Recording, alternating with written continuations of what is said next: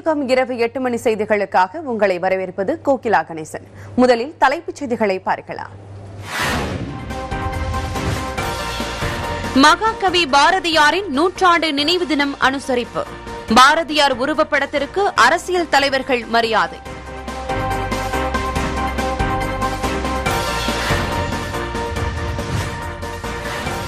பனாரஸ் இந்து பல்கலைக்கழகத்தில் பாரதி பெயரில் தமிழ் இருக்கை. பாரதியின் நூற்றாண்டு நினைவு தினத்தில் பிரதமர் மோடி அறிவிப்பு.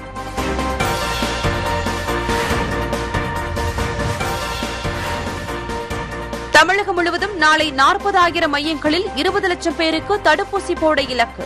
பொதுமக்கள் பயன்படுத்திக் கொள்ள சுகாதாரத்துறை வேண்டுகோள்.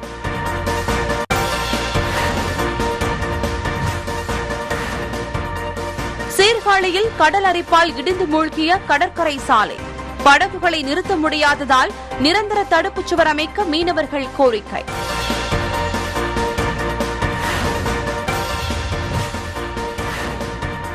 கள்ளக்குறிச்சி கூட்டுறவு சங்கத்தில் பால் கொள்முதல் திடீர் நிறுத்தம். பணப்பட்டுவாடாவை தவிர்க்கவே கொள்முதல் நிறுத்தப்பட்டதாக ஆவின் நிர்வாகம் மீது புகார்.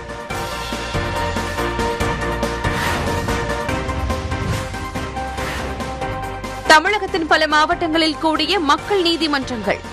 ஆயிரக்கணக்கான வழக்குகள் சுமூகமாக தீர்த்து வைப்பு.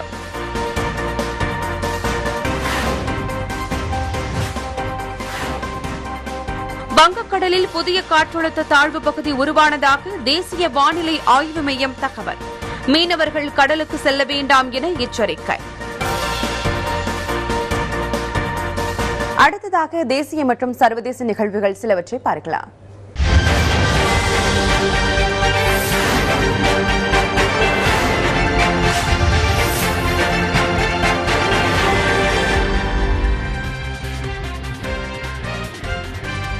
குஜராத் மாநில முதலமைச்சர் விஜய் ரூபானி தனது பதவியை ராஜினாமா செய்துள்ளார்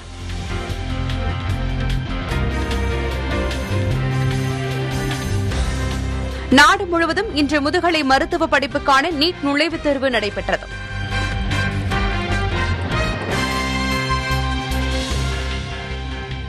மலையாள மாதத்தின் கன்னிமாத பூஜைக்காக செப்டம்பர் பதினாறில் சபரிமலை கோயில் நடை திறக்கப்படும் என தேவஸ்தானம் அறிவித்துள்ளது.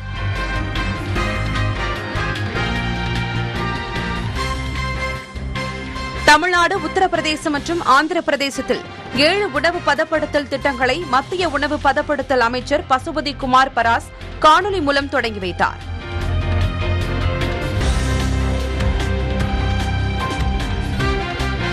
மக்கள் தொகை அதிகமுள்ள இந்தியாவை மத்திய அரசு முழுமையாக நிர்வகிப்பது கடினம் என்பதால் மாநில அரசுகளுக்கு கூடுதல் அதிகாரம் வழங்க முன்னாள் ரிசர்வ் வங்கி ஆளுநர் ரகுராம் ராஜன் வலியுறுத்தியுள்ளார்.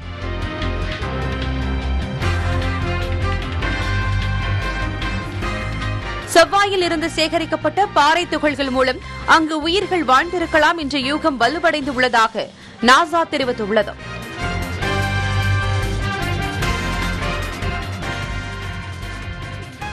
ஆப்கன் அரசின் அமைச்சரவையில் பெண்கள் இடம்பெற வேண்டிய அவசியமில்லை. குழந்தைகளை பெற்றுக் கொடுப்பதுதான் அவர்களின் ஒரே வேலை என தலிபான் செய்தி தொடர்பாளர் பேட்டியளித்துள்ளார்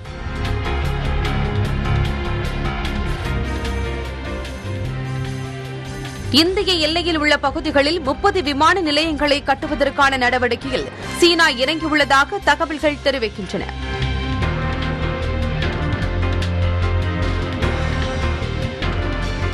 ஆஸ்திரேலிய இந்திய வெளியுறவுத்துறை அமைச்சர்கள் இடையே டூ பிளஸ் டூ பேச்சுவார்த்தை இன்று நடைபெற்றது.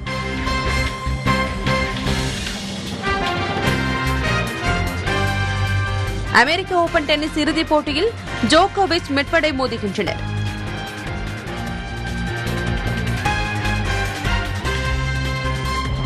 பாகிஸ்தானைச் சேர்ந்த பெண் உளவாளியிடம் மயங்கி இந்திய ராணுவ ரகசிய ஆவணங்களை வாட்ஸ்அப் மூலம் பரிமாறியதாக ராஜஸ்தானில் ரயில்வே தபால் துறை அதிகாரி கைது செய்யப்பட்டுள்ளார்.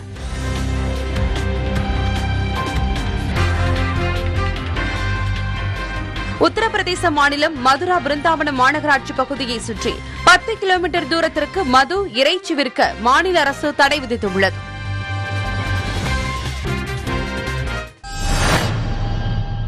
இனி விரிவான செய்திகள் தொடர்கின்றன.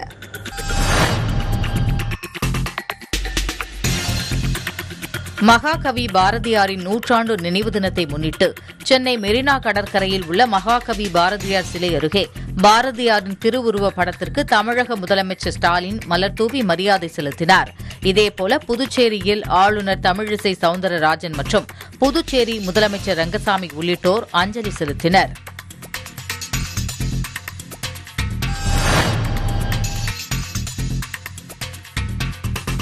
புதுச்சேரியில் பல ஆண்டுகள் வாழ்ந்த மகாகவி பாரதியார் பல்வேறு புகழ்பெற்ற பாடல்களை பாடியதுடன் இந்திய விடுதலைக்காக பல்வேறு வியூகங்களையும் வகுத்தார். இதன் மூலம் அவரது வாழ்க்கையில் புதுச்சேரி முக்கியத்துவம் வாய்ந்ததாக அமைந்தது. இந்த நிலையில் அவரது நூற்றாண்டு நினைவு நாளில் பாரதி பூங்காவின் எதிரே உள்ள அவரது சிலைக்கு துணைநிலை ஆளுநர் தமிழிசை சவுந்தரராஜன் முதல்வர் ரங்கசாமி அமைச்சர்கள் சட்டமன்ற உறுப்பினர்கள் மாலை அணிவித்து மரியாதை செலுத்தினார்கள். இதனைத் தொடர்ந்து மகாகவி பாரதியார் வாழ்ந்த ஈஸ்வரன் கோவில் வீதியில் உள்ள அவரது வீட்டில் பாரதிக்கு மரியாதை செய்யும் விதமாக அவரது பாடல்களை பாடி ஏராளமான மாணவிகள் பரதநாட்டியம் ஆடி புகழஞ்சலி செலுத்தினர். தொடர்ந்து பாரதியாரின் நூற்றாண்டு நினைவு தினத்தை ஒட்டி தமிழறிஞர்கள் பல்வேறு நிகழ்ச்சிகளுக்கு ஏற்பாடு செய்திருந்தனர்.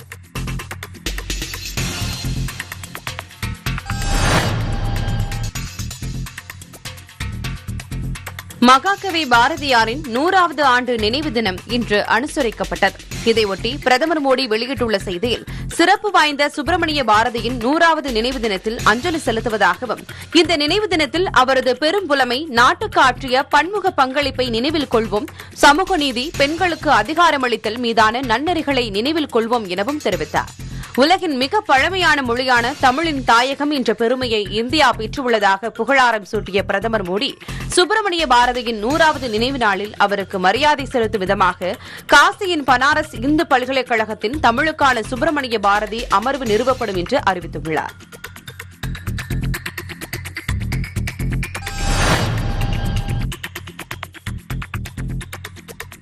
தமிழ்நாடு முழுவதும் நாளை இருபது லட்சம் பேருக்கு தடுப்பூசி போட அரசு இலக்கு நிர்ணயித்துள்ளது இதற்கான அனைத்து ஏற்பாடுகளும் விரிவாக செய்யப்பட்டுள்ளன. ஆரம்ப சுகாதார நிலையங்கள் அரசு மருத்துவமனைகள் அங்கன்வாடி மையங்கள் சத்துணவு மையங்கள் பள்ளிக்கூடங்கள் என மக்கள் வசதிக்கேற்ற இடங்களில் சிறப்பு முகாம்கள் அமைக்கப்பட்டு வருகின்றன.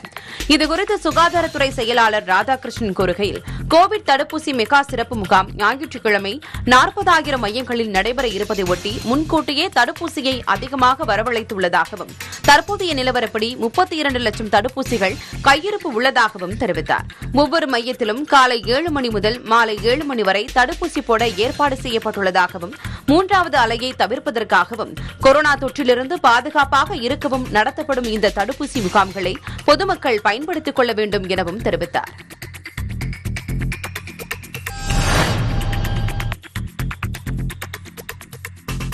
மயிலாடுதுறை மாவட்டம் சீர்காழியை அடுத்த திருமுலைவாசல் மீனவ கிராமத்தில் உள்ள மேட்டுத் தெருவில் நூற்றுக்கும் மேற்பட்ட மீனவ குடும்பத்தினர் வசித்து வந்தனர். சுனாமிக்கு பின்னர் இவர்கள் அருகில் உள்ள இடத்திற்கு மாற்றம் செய்யப்பட்டனர்.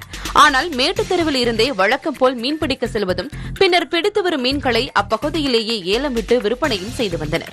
இந்நிலையில் கடந்த சில ஆண்டுகளுக்கு முன்னர் திருமுலைவாசலில் புதிய மீன்பிடி துறைமுகம் அமைக்கப்பட்டது.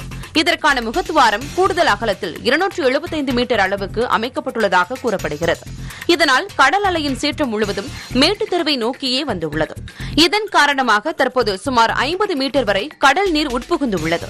இதனால் திருமுலைவாசல் துறைமுகம் முதல் மேட்டுத்தெரு வரையிலான கான்கிரீட் சாலை முழுவதுமாக கடலில் மூழ்கியது.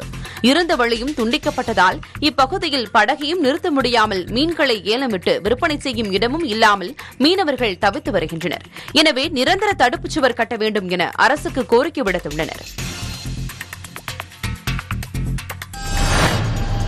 தமிழகத்துக்கு வர தொடங்கிய கேரள பேருந்துகள்.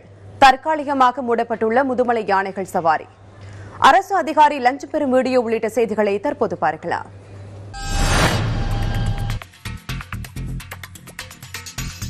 மத்திய கிழக்கு மற்றும் வடகிழக்கு வங்கக்கடலில் புதிய காற்றழுத்த தாழ்வு பகுதி உருவானதாக இந்திய வானிலை ஆய்வு மையம் அறிவித்துள்ளது. தென்கிழக்கு வங்கக்கடல் மற்றும் மத்திய வங்கக்கடல் பகுதியில் பலத்த காற்று வீசக்கூடும் என்றும் இப்பகுதிகளுக்கு மீனவர்கள் செல்ல வேண்டாம் என்றும் வானிலை ஆய்வு மையம் எச்சரித்துள்ளது. மேற்கு தொடர்ச்சி மலையை ஒட்டிய பகுதிகளான கோயம்புத்தூர் தேனி திண்டுக்கல் திருப்பூர் தென்காசி ஆகிய மாவட்டங்களிலும் தென் மாவட்டங்கள் மற்றும் சென்னை திருவள்ளூர் காஞ்சிபுரம் செங்கல்பட்டு வேலூர் விழுப்புரம் மாவட்டங்களின் கடலோர பகுதிகளில் லேசான மழை பெய்யக்கூடும் எனவும் வானிலை மையம் தெரிவித்துள்ளது.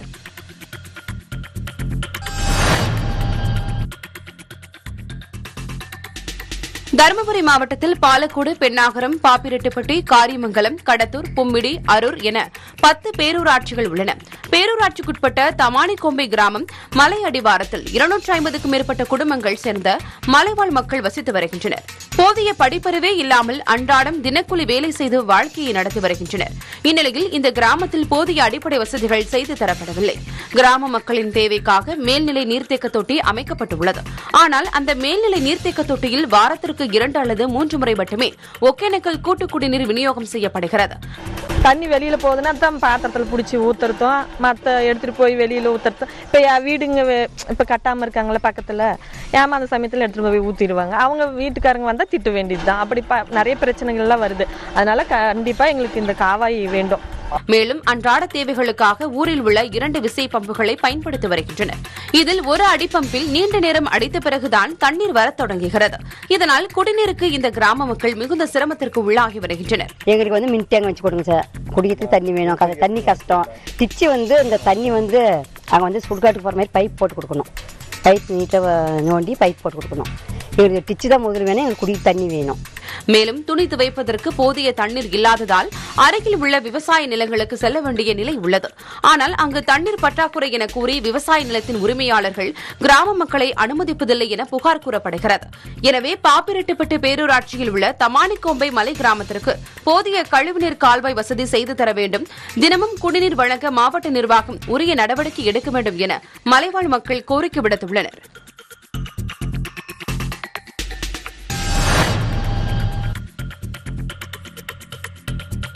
கள்ளக்குறிச்சி மாவட்டம் சின்னசேலம் அருகே உள்ள தாகம் தீர்த்தாபுரம் கூட்டுறவு சங்கத்தில் பால் கொள்முதல் நிறுத்தப்பட்டதால் முன்னூற்றுக்கும் மேற்பட்ட விவசாயிகள் பால் கேன்களுடன் முற்றுகையிட்டனர்.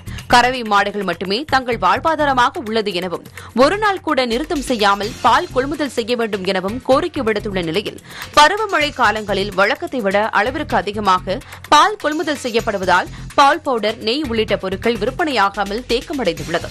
இதனால் உற்பத்தியாளர்களுக்கு பணப்பட்டுவாடா செய்வதில் ஏற்படும் சிக்கல்களை தவிர்க்கவே இதுபோன்று நிறுத்தம் செய்ய ஆவி நிர்வாகம் முடிவு செய்து வாய்மொழி உத்தரவாக கூறியுள்ளதாகவும் கூட்டுறவு சங்கத்தினர் கூறுகின்றனர். இதனைத் தொடர்ந்து சம்பவ இடத்திற்கு வந்த போலீசார் பொதுமக்களிடம் பேச்சுவார்த்தை நடத்தினர். பின்னர் கரந்தபாளை கொள்முதல் நிலையம் எடுத்துக் கொண்டதால் பொதுமக்கள் மகிழ்ச்சி அடைந்தனர்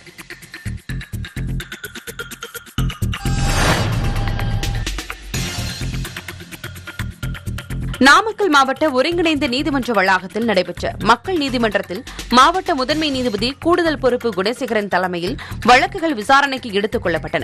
இதில் சாலை விபத்துகள் குறித்த இழப்பீடு நிலுவையில் உள்ள மேல்முறையீட்டு வழக்குகள் மின்சார பயன்பாடு வீட்டு வரி குடிநீர் வரி ஓய்வூதியம் உள்ளிட்ட பல்வேறு வழக்குகள் விசாரணைக்கு எடுத்துக் கொள்ளப்பட்டன. இதில் இருநூற்று எழுபது வழக்குகள் தீர்வு காணப்பட்டு பத்து கோடியே ஐம்பத்தி மூன்று லட்சம் ரூபாய் இழப்பீடு தொகையாக வழங்கப்பட்டன.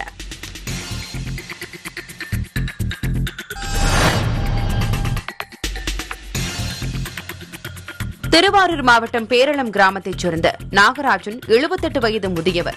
உலகையே உலுக்கி வரும் கொரோனா தொற்று நோய் ஒழிவதற்காக ஸ்ரீரங்கத்தில் உள்ள ஒன்று புள்ளி ஐந்து கிலோமீட்டர் நீளமுள்ள நான்கு உத்தர வீதிகளில் காயத்ரி மந்திரம் சொல்லிக்கொண்டே அங்க பிரதட்சணம் செய்தார். இறுதியாக ஸ்ரீரங்கத்தின் தெற்கு கோபுரத்தில் அங்க பிரதட்சணத்தை நிறைவு செய்தார். இதுகுறித்து அவர் கூறுகையில் உலகையே உலுக்கி வரும் கொரோனா நோயை ஒழிப்பதற்காக நம் பெருமாளிடம் வேண்டி அங்க பிரதட்சணம் செய்ததாக தெரிவித்தார்.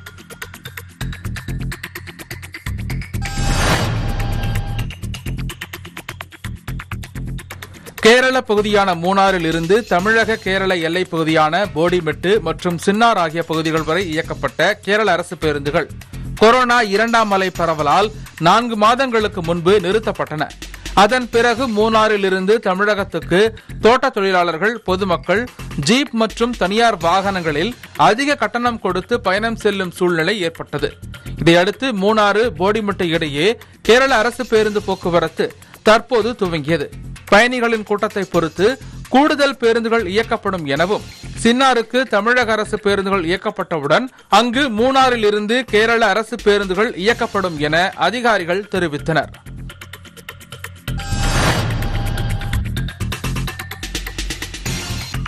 குமரி மாவட்டத்தில் கிராம நிர்வாக அலுவலகத்தில் பெண் உதவியாளர் ஒருவர் கட்டுமான நலவாரிய சான்றிதழில் கையெழுத்திட இருநூறு ரூபாய் லஞ்சம் வாங்கும் வீடியோ சமூக வலைதளங்களில் வேகமாக பரவி வருகிறது.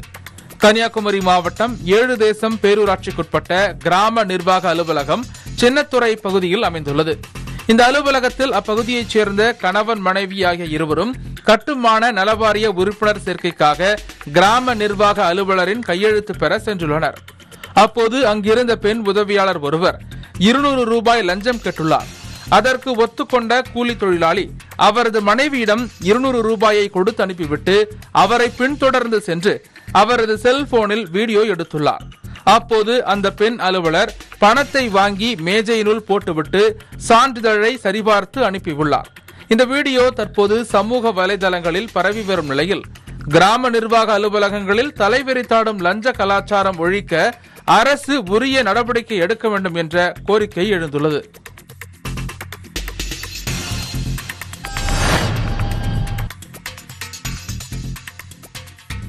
தென்மேற்கு பருவமழை காரணமாக கர்நாடகாவில் உள்ள கபுனி மற்றும் கிருஷ்ணராஜசாகர் அணைகளுக்கு வரும் நீர்வரத்தை பொறுத்து தமிழகத்திற்கான தண்ணீர் திறக்கப்பட்டு வருகிறது. இந்த நிலையில் தற்பொழுது மேட்டூர் அணைக்கு கபினி அணையிலிருந்து வினாடிக்கு அறுநூறு கனஅடி தண்ணீரும் கிருஷ்ணராஜசாகர் அணையிலிருந்து வினாடிக்கு ஒன்பதாயிரம் கனஅடி தண்ணீரும் திறக்கப்பட்டு வருகிறது. தற்போது தமிழக கர்நாடக காவிரி நீர்பிடிப்பு பகுதியில் மழை குறைந்ததை அடுத்து மேட்டூர் அணைக்கான நீர்வரத்தும் தொடர்ந்து குறைந்து வருகிறது.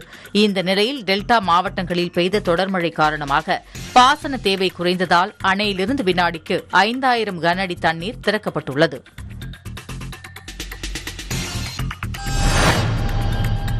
வணக்கம். செய்திகள் தொடர்கின்றன. கல்வித்துறை அதிகாரிகளுக்கு பெற்றோர்கள் கோரிக்கை. பெண் கிராம அலுவலர்களுக்கு மிரட்டல் அழைப்பு.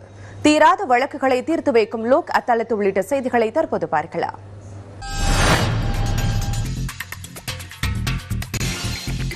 முதுமலையில் யானைகள் சவாரி தற்காலிகமாக நிறுத்தப்பட்டுள்ளது.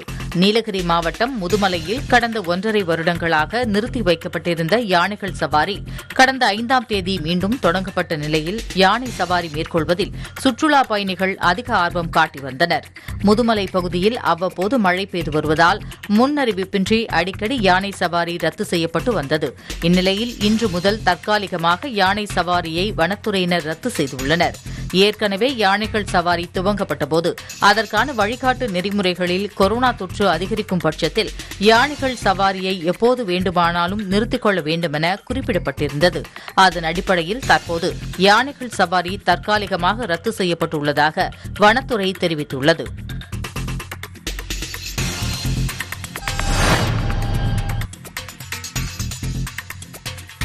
வேளாங்கண்ணி ஆண்டு பெருவிழா ஒவ்வொரு ஆண்டும் ஆகஸ்ட் இருபத்தி ஒன்பதாம் தேதி கொடியேற்றத்துடன் தொடங்கி எட்டாம் தேதி வரை பத்து நாட்கள் திருவிழா நடைபெறுவது வழக்கம்.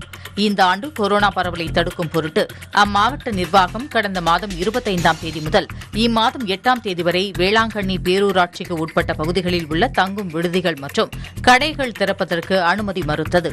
இந்த நிலையில் வெளியூர் மற்றும் வெளி மாநில பக்தர்கள் வேளாங்கண்ணிக்கு வருகை புரிவதற்கும் தற்காலிகமாக கடைகள் அடைக்கப்படவும் உத்தரவிடப்பட்டிருந்தது. இதற்கிடையில் வெள்ளி சனி ஞாயிறு நாட்களிலும் பேராலயம் அடைக்கப்படுகின்றன. இதுபோன்ற சூழலில் அப்பகுதி ஒப்பந்த அடிப்படையில் கடையை இழுத்து நடத்தி நடத்தி வருபவர்கள் மற்றும் வாடகைக்கு கடை நடத்தி வருபவர்களுக்கு கடுமையான வருமான இழப்பு ஏற்பட்டதால் அவர்கள் கடையை காலி செய்து கூலி வேலைக்கு செல்லும் நிலை ஏற்பட்டுள்ளதாக கவலை தெரிவிக்கின்றனர்.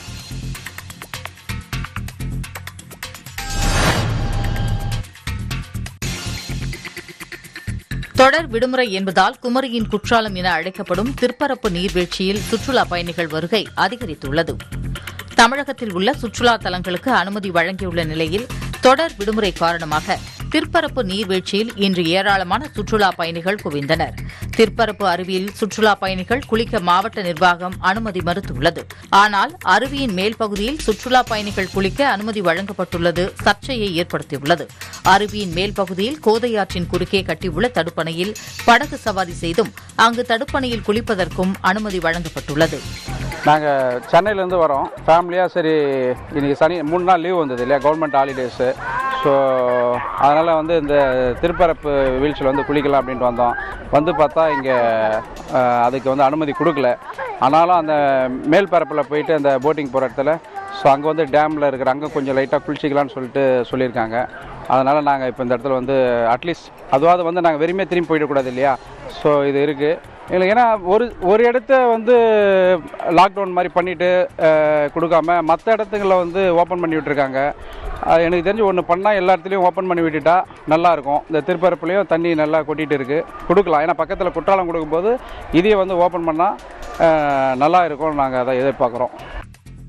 இப்போ நாங்கள் வந்து பசங்க ஆறு பேர் வந்திருக்கோம். ஆளாளுக்கு ஒரு ஊரில் வந்திருக்கோம். நான் சிவகாசிலேருந்து வந்திருக்கேன். இப்போ திரு திருப்பரப்பு அருவி குளிக்கலாம்னு சொல்லி வந்தோம். நான் வந்ததே இல்லை. இதுதான் ஃபஸ்ட் டைமு ஸோ வந்து பார்க்குறப்ப அங்கே க்ளோஸ் இருந்தாங்க. ஆனால் உள்ளே போய் போட்டிங் போயிட்டு இங்கே குளிக்கலான்றாங்க. இப்போ ஃபால்ஸில் அந்தளவுக்கு தண்ணி எதுவும் இல்லை. இப்போ கோவிட் டைம்ஸில் இதெல்லாம் லாக் பண்ணால் இப்போ எல்லாத்தையும் லாக் பண்ணி ஆகணும். இல்லை எல்லா பக்கமும் தான் பரவும். இப்போ டூரிஸ்ட் இங்கெல்லாம் நல்லா தான் குளிச்சுக்கிட்டு இருக்காங்க. எல்லாமே நல்லா தான் இருக்குது அப்போ ஃபால்ஸும் நம்ம ஓப்பன் பண்ணலாம். இது ஏன் இந்த அரசு இதை நடவடிக்கை எடுக்குன்னு எனக்கு தெரியல.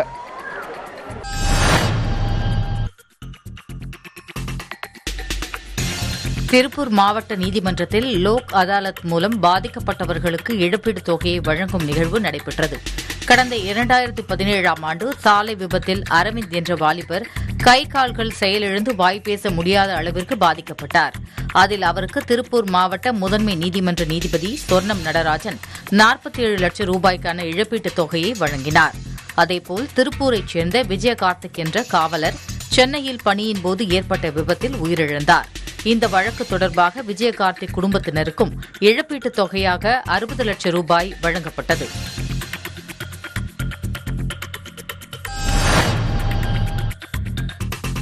காஞ்சிபுரம் மாவட்டம் கோவிந்தவாடி அகரத்தில் மேல்நிலைப் பள்ளியின் தரம் உயர்த்தப்பட்டதால் கூடுதல் கட்டிடம் கட்ட ஏற்பாடு செய்யப்பட்டது. இந்நிலையில் பள்ளி கட்டிடம் கட்டப்படுவது நீர்நிலை பகுதி என்பதனால் மூன்று அடுக்கு மாடி கட்டுவதற்கு ஏற்றதல்ல என கிராம மக்கள் நீதிமன்றத்தில் வழக்கு தொடுத்தனர். இதனால் பள்ளி கட்டிட பணி பாதியில் தடுத்து நிறுத்தப்பட்டது. தற்போது ஒன்பதாம் வகுப்பிலிருந்து பனிரெண்டாம் வகுப்பு வரை பள்ளிகள் நடைபெறும் என தமிழக அரசு அறிவித்திருந்த நிலையில் இப்பள்ளியில் ஒன்பது மற்றும் பதினோராம் வகுப்பு ஒரு நாள் விட்டு ஒரு நாள் மட்டுமே இயங்கி வருகிறது. அதுவும் பள்ளி வளாகத்தில் கட்டிடம் இல்லாத காரணத்தினால் சமுதாய கூடத்தில் இயங்கி வருகிறது. போதிய கழிப்பறை வசதி ஏதும் இல்லாமல் ஒன்பதாம் வகுப்பு மாணவர்களும் பதினோராம் வகுப்பு மாணவர்களும் மிகுந்த அவதி அடைகிறார்கள். குறிப்பாக பெண்களும் ஆசிரியர்களும் கழிவறை வசதி இல்லாமல் மிகவும் தர்ம சங்கடத்திற்கு உள்ளாக்கப்படுகிறார்கள். எனவே அதிகாரிகள் நடவடிக்கை எடுத்து ஆவண செய்ய வேண்டுமென மாணவர்களின் பெற்றோர்கள் கோரிக்கை விடுத்துள்ளனர்.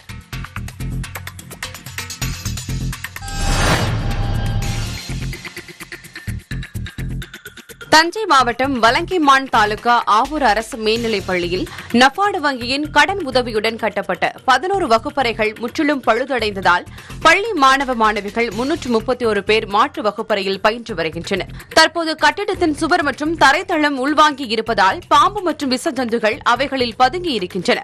இந்த வகுப்பறைகள் கட்டி முடிக்கப்பட்ட நான்கு ஆண்டுகள் மட்டுமே மாணவ மாணவிகள் வகுப்புகளுக்கு சென்றனர். கடந்த ஆண்டு தரைத்தளம் மட்டும் சீரமைக்கப்பட்டது. அதுவும் உடனடியாக தனித்தனியாக பெயர்ந்து பள்ளி மாணவ மாணவிகள் நடக்க முடியாத சூழ்நிலையில் உள்ளனர்.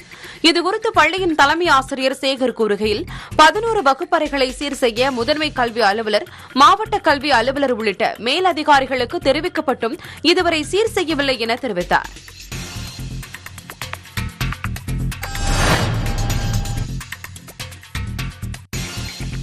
சென்னை மதுரவாயல் அடுத்த வானகரம் முஸ்தபா தெருவில் இ மோட்டார் சைக்கிள்கள் சரி செய்வது மற்றும் சோலார் பேனல்கள் தயாரிக்கும் நிறுவனம் இயங்கி வருகிறது.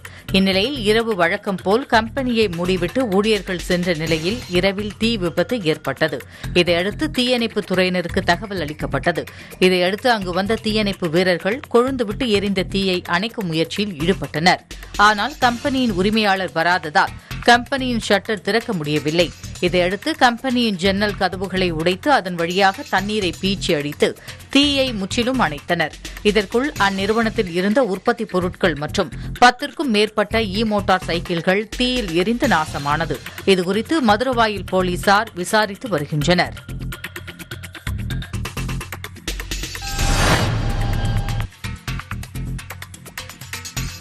திருவள்ளூர் மாவட்டம் மீஞ்சூர் பஜாரில் தனியாருக்கு சொந்தமான பழைய கட்டடத்தை ஜேசிபி இயந்திரம் மூலம் இடிக்கும் பணிகள் நடைபெற்ற போது மேலே சென்ற உயரழுத்த மின்கம்பி அருந்து கீழே விழுந்தது.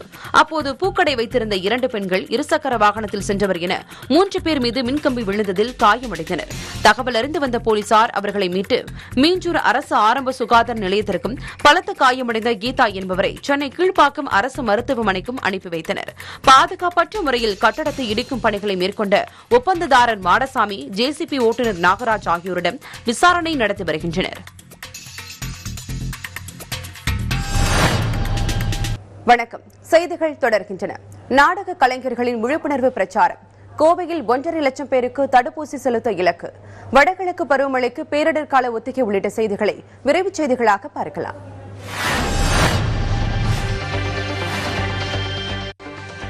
சேலம் மேட்டூரை அடுத்த மேச்சேரி பேருந்து நிலையம் முன்பாக rotary club of Mettur dam city மற்றும் அசல் நாடக கலைஞர்கள் சங்கம் சார்பில் கொரோனா விழிப்புணர்வு நிகழ்ச்சி நடைபெற்றது. இதில் நாடக கலைஞர்கள் கொரோனா வேடமிட்டும் அரசியல் கட்சி தலைவர்கள் மற்றும் திரைப்பட நடிகர்கள் யமன் கடவுள் வேடமிட்டும் விழிப்புணர்வு பிரச்சாரத்தில் ஈடுபட்டனர்.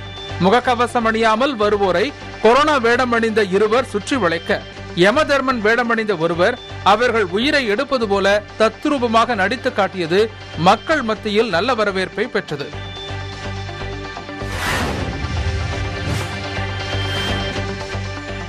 சென்னையில் வடகிழக்கு பருவமழை முன்னெச்சரிக்கை ஒத்திகை பயிற்சியை தீயணைப்பு துறையினர் பொதுமக்களுக்கு நிகழ்த்தி காட்டினர். சென்னை தாம்பரம் அடுத்த சிட்லப்பாக்கம் ஏரியில் தாம்பரம் தீயணைப்பு துறையினர் சார்பில் உதவி மாவட்ட அலுவலர் தலைமையில் தாம்பரம் கிண்டி ஆகியோர் அடங்கிய தீயணைப்பு வீரர்கள் வெள்ளத்தின் போது தங்களது வீட்டில் உள்ள பொருட்களை வைத்து தங்களை எவ்வாறு பாதுகாத்துக் கொள்ளலாம் என்பது குறித்தும் தீயணைப்பு துறையில் ரப்பர் படகு லைஃப் பாய் மற்றும் லைஃப் ஜாக்கெட் கொண்டு மீட்பது போன்ற ஒத்திகை நிகழ்வையும் நடத்தி காட்டினர்.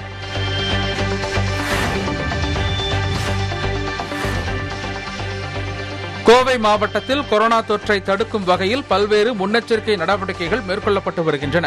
அந்த வகையில் தடுப்பூசிகளை அனைத்து தரப்பினரும் பெறும் வகையிலும் மாவட்ட நிர்வாகத்தின் சார்பில் அம்மாவட்டத்தில் நாளை மாபெரும் தடுப்பூசி செலுத்தும் முகாம் நடைபெற உள்ளது. ஆயிரத்து நானூற்று எழுபத்து நான்கு இடங்களில் நடைபெறும் இந்த முகாம் மூலம் ஒரு லட்சத்து ஐம்பதாயிரம் பேருக்கு தடுப்பூசி செலுத்த இலக்கு நிர்ணயிக்கப்பட்டுள்ளது. இந்த தடுப்பூசி முகாம் நாளை காலை ஏழு மணி முதல் இரவு ஏழு மணி வரை நடைபெற உள்ளது என்பது குறிப்பிடத்தக்கது.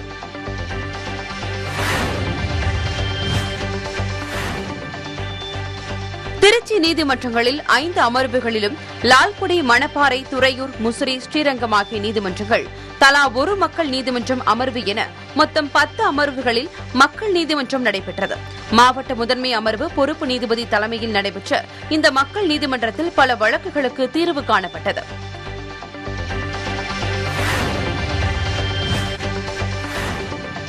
எழுபத்தைந்தாவது சுதந்திர தினத்தை முன்னிட்டு செங்கல்பட்டு மாவட்ட ஆட்சியர் அலுவலக வளாகத்தில் மாரத்தான் போட்டி தொடங்கியது. இப்போட்டியை செங்கல்பட்டு மாவட்ட ஆட்சியர் ராகுல்நாத் கொடியசைத்து துவங்கி வைத்தார். கொரோனா தொற்றிலிருந்து விடைபெறவும் ஆரோக்கியமான வாழ்விற்கு வழி வேண்டி நடைபெற்ற இதில் ஐநூற்றுக்கும் மேற்பட்டோர் பங்கேற்றனர். முதல் மூன்று இடங்களை பிடித்த மாணவ மாணவிகளுக்கு சான்றிதழ்களும் கோப்பைகளும் வழங்கப்பட்டன.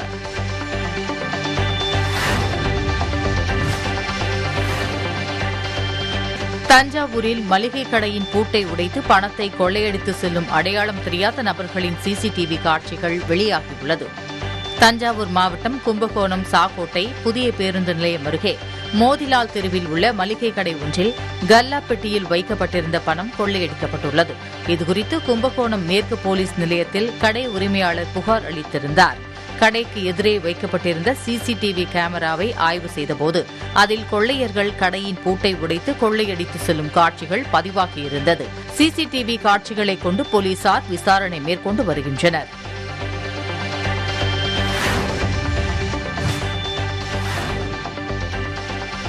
திருவண்ணாமலை மாவட்டம் செய்யாறு பேருந்து நிலையம் முன்பு கம்யூனிஸ்ட் கட்சியினர் ஆர்ப்பாட்டத்தில் ஈடுபட்டனர்.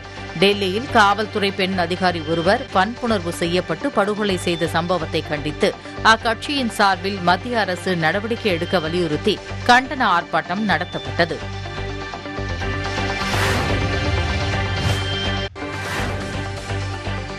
சிவகங்கை மாவட்டம் காரைக்குடி முத்துமாரியம்மன் கோவில் வாயில் பகுதியை ஒட்டியிருக்கும் வீடுகளில் கடந்த மூன்று நாட்களாக செல்போன் கடிகாரம் பணம் ஆகியவை தொடர்ந்து திருடு போயுள்ளது. சிறு சிறு திருட்டுகளாக நடைபெற்றதால் காவல்துறையிடம் யாரும் புகார் அளிக்கவில்லை. இந்நிலையில் மீண்டும் ஒரு வீட்டில் திருடு போனதை அடுத்து புகார் அளிக்கப்பட்டு மாரியம்மன் கோவில் வளாகத்தில் பொருத்தப்பட்டுள்ள சிசிடிவி கேமராக்களை போலீசார் ஆய்வு செய்தனர். அதில் நள்ளிரவில் தனிநபர் ஒருவர் சாலைகளில் திரிவது பதிவாகியிருந்தது. இதனைத் தொடர்ந்து அந்த நபரை போலீசார் தேடி வருகின்றனர். இத்துடன் செய்திகள் நிறைவடைகின்றன. புது யுகத்தின் அடுத்த செய்தி தொகுப்பு நாளை காலை எட்டு மணிக்கு. நன்றி.